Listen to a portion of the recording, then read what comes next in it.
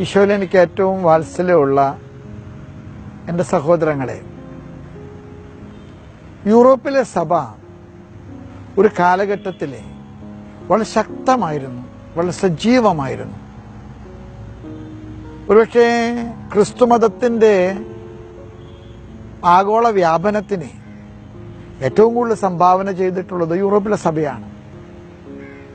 എന്നാൽ യൂറോപ്പിലെ സഭയ്ക്ക് ഇപ്പോൾ വളരെ നിർജീവതയാണ് പരിശുദ്ധ പിതാവ് അതേക്കുറിച്ച് അടുത്ത കാലത്ത് ഒരു ഇടപെടൽ നടത്തിയിട്ട് പറഞ്ഞു യൂറോപ്പിലെ സഭയ്ക്ക് സംഭവിച്ച ഏറ്റവും പ്രധാനപ്പെട്ട അപകടം ക്രൈസ്തവ വിശ്വാസം. ഒരു സാക്ഷ്യവും പ്രേക്ഷിതത്വവും ആകേണ്ടതിന് പകരം അതൊരു ആഘോഷമായിട്ട് മാറി. എല്ലാ ആഘോഷങ്ങളും യൂറോപ്പിലെ സഭയ്ക്ക് ഒരു സ്വാഭാവിക സംഭവമായിട്ട് മാറി. ആഘോഷങ്ങളുടെ നടുവിൽ ക്രൈസ്തവ വിശ്വാസത്തിന്റെ നന്മ അത് നഷ്ടപ്പെട്ടു.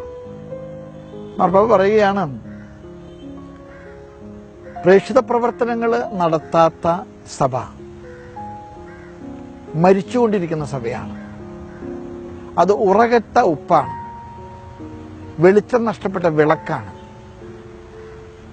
ഞാൻ ഇത് നിങ്ങളോട് പറയുന്നത് കുറച്ച് നാളുകൾക്ക് മുമ്പ് ഞാൻ നവാറ എന്ന് പറഞ്ഞ സ്പെയിനിലെ പ്രസിദ്ധമായിട്ടുള്ള ഒരു ക്രൈസ്തവ കേന്ദ്രത്തിൽ പോയി. നവാറസിലെ ഒ സി ഡി കർമ്മലീത്ത പ്രോവിൻസുകാരാണ് ആലുവ സെമിനാരി പണിതിരിക്കുന്നത് മംഗലപ്പുഴ സെമിനാരിയും കർമ്മൽഗിരി സെമിനാരിയും ഒക്കെ പണിതിരിക്കുന്നത് അവരാണ്.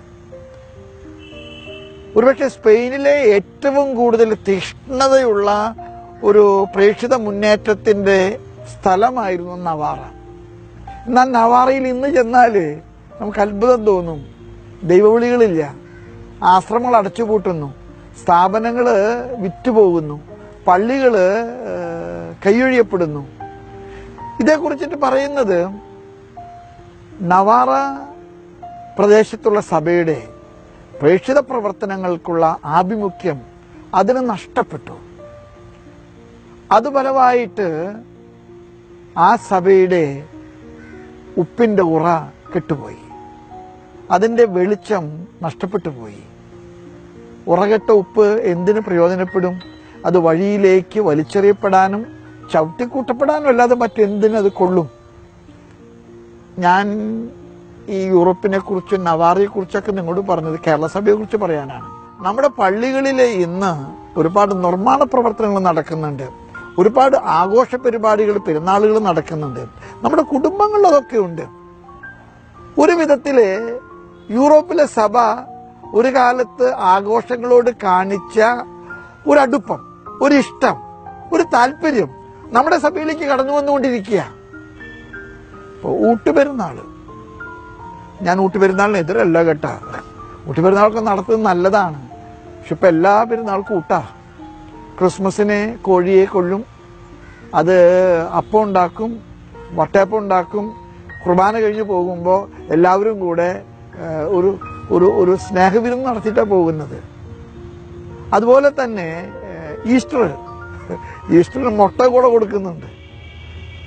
ഞാനിതിനെ കുറ്റപ്പെടുത്തുകയല്ല. ഈ അടുത്ത് ഞാനൊരു പള്ളി ചെന്ന് കഴിഞ്ഞപ്പോൾ ആത്മക്കാരുടെ ആത്മാനുകൂലാർത്ഥം ഒരു ഊട്ടുപെരുന്നാൾ ഓരോ പള്ളികളിലും മൂന്നും നാലും ഊട്ടുപെരുന്നാളുകളാണ് ഞാൻ വിരോധം പറയുകയല്ല. പക്ഷെ ഇത് ആവശ്യമുണ്ടോ എന്ന് നമ്മൾ ചിന്തിക്കണം. നമ്മുടെ മരിച്ചവരെ കുറിച്ച് ഓർക്കുകയും ആ കുടുംബാംഗങ്ങൾ എല്ലാവരും കൂടി വീട്ടിലിരുന്ന് ഒരു സദ്യ കഴിക്കുന്നതിൽ ഒരു വിരോധവുമില്ല. ഈ ആഘോഷങ്ങൾ വർദ്ധിച്ചു വരുന്നത് ഇടവകളിലെ നിർമ്മാണ പ്രവർത്തനങ്ങൾ. ഇപ്പോൾ ഒരു സ്ഥലത്ത് ഒരു സ്വർണക്കൊടിമരം പണിതു.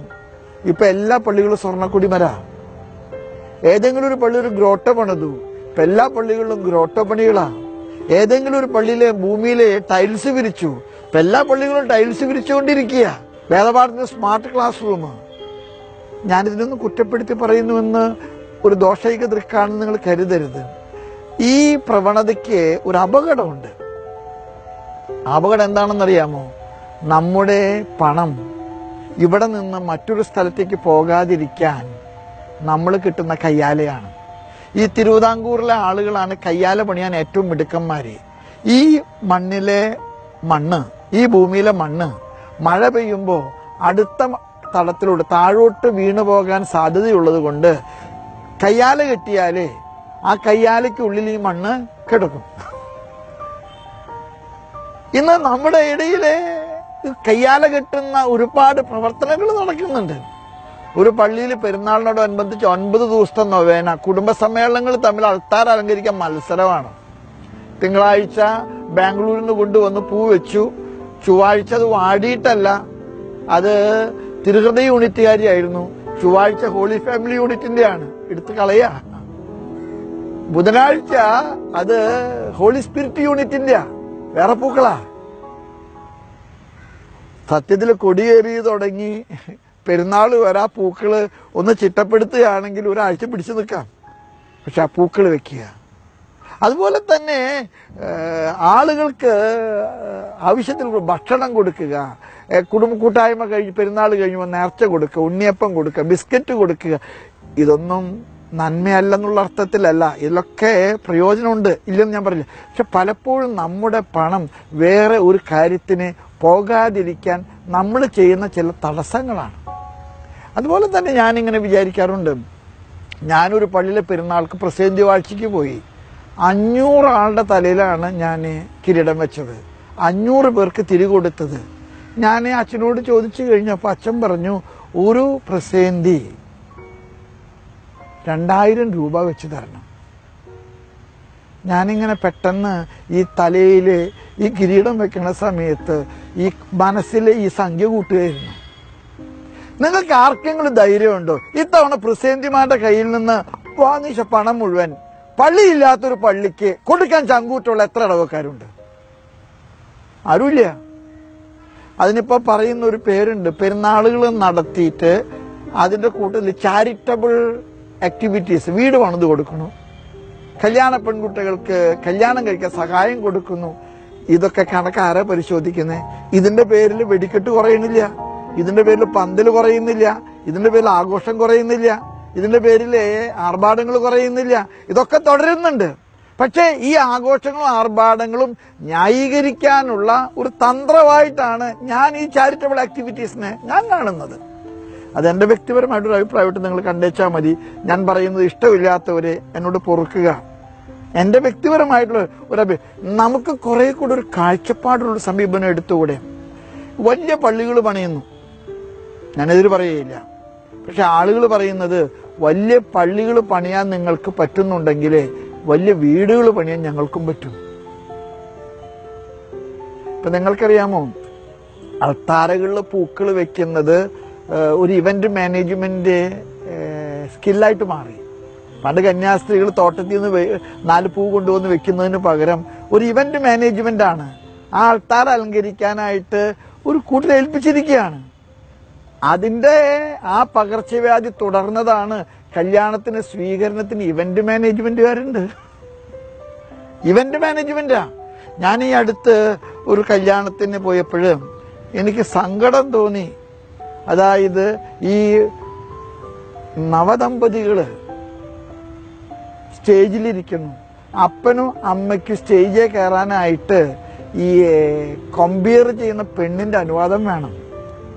അയാളാ പറഞ്ഞത് ഈ വധുവിന്റെ അപ്പൻ so and so now come to the stage ഇത് നമ്മുടെ കയ്യിൽ കാശ് ചെലവാക്കി നമ്മൾ മകളുടെ കല്യാണം നടത്തുന്നതിന് മുമ്പ് സ്റ്റേ സ്റ്റേജിൽ കയറാനായിട്ട് അവരുടെ ഒരു പെർമിഷൻ കിട്ടിയാലേ നമുക്ക് പറ്റുള്ളൂ. അത് അത്തരത്തിലേക്ക് കാര്യങ്ങൾ നീങ്ങുകയാണ്. ഞാൻ നിങ്ങളോട് പറയാൻ ആഗ്രഹിച്ചത് നമ്മുടെ പെരുന്നാളുകളുടെ അമ്പ് പ്രദർശനം പെരുന്നാൾ പ്രദർശനം പെരുന്നാൾ പന്തലുകൾ പള്ളിപ്പണികൾ ഇങ്ങനെയുള്ള കാര്യങ്ങളിലൊക്കെ നമ്മൾ കുറെ കൂടെ സുവിശേഷ മൂല്യങ്ങൾ പാലിക്കാൻ കടപ്പെട്ടിരിക്കുന്നു. അങ്ങനെ നമ്മൾ പാലിച്ചാൽ നമ്മുടെ ഇടവക ജീവിതങ്ങളിലെ ഒരുപാട് മാറ്റം ഉണ്ടാകും. അങ്ങനെയുള്ള പണങ്ങൾ കുറേ കൂടെ മിഷനിലേക്ക് നമ്മൾ ചെലവഴിക്കണം. മിഷൻ പ്രവർത്തനങ്ങളെ സഹായിക്കുന്ന വിധത്തിൽ മാധ്യമങ്ങൾ ഉപയോഗിച്ച് ഉപയോഗിച്ചുള്ള സുവിശേഷവൽക്കരണങ്ങൾ അതുപോലെ തന്നെ എക്സ്ചേഞ്ച് പ്രോഗ്രാമുകളിലുള്ള സുവിശേഷവൽക്കരണങ്ങൾ ദത്തെടുക്കൽ വഴിയുള്ള സുവിശേഷവൽക്കരണങ്ങൾ നമുക്ക് സാധിക്കും. ആർഭാടങ്ങൾ വർദ്ധിക്കും തോറും സഭയുടെ ആത്മസത്ത ചോർന്നു പോകുകയാണ്. സഭ ഉറകട്ട് ഉപ്പാകാണ്. വിള വെളിച്ചം നഷ്ടപ്പെട്ട വിളക്ക് പീഠത്തിൽ വിളക്കുണ്ട് പക്ഷെ വെളിച്ചമില്ല. നമുക്ക് കുറെ കൂടെ മിഷണറി ചൈതന്യമുള്ളൊരു സഭയായിട്ട് മാറാം. അല്ലെങ്കിൽ യൂറോപ്പിലെ സഭയ്ക്ക് സംഭവിച്ച സമൂല നാശം അനധിവിദൂര ഭാവിയിലെ നമ്മുടെ സഭയ്ക്ക് സംഭവിക്കുമോ എന്ന് ഞാൻ ഭയപ്പെടുന്നു. നമുക്ക് കുറെ കൂടെ കാഴ്ചപ്പാടോടുകൂടെ മിഷണറി പ്രവർത്തനങ്ങളെ പ്രോത്സാഹിപ്പിക്കാൻ സഹകരിക്കാം. ദൈവം നിങ്ങളെ അനുഗ്രഹിക്കട്ടെ.